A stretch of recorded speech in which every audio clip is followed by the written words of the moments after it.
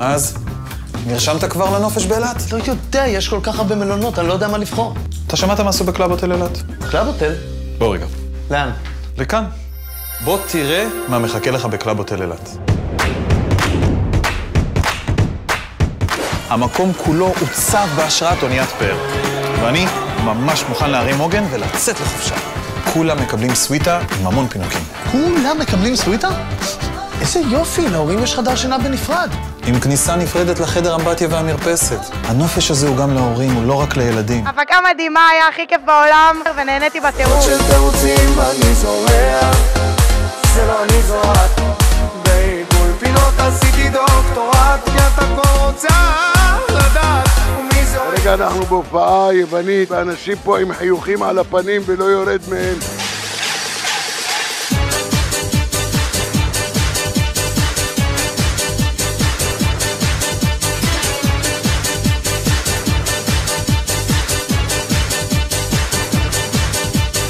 תקופה של קובי מימון, יומיים של אושר, עונג גילאי. אמרתי לה ברור. למה אמרתי לה ברור? ראיתי את זה בסרטים, זה נראה חבל על הזמן.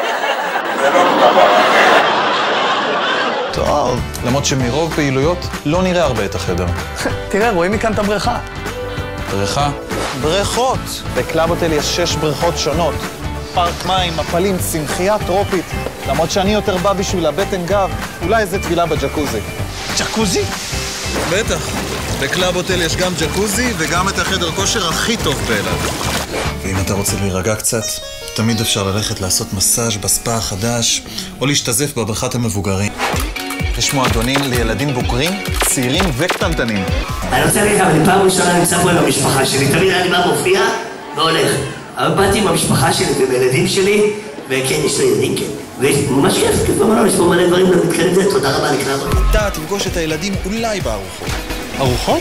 איפה באמת אוכלים? כשזה מגיע לאוכל, קלאב הוטל זה המקום.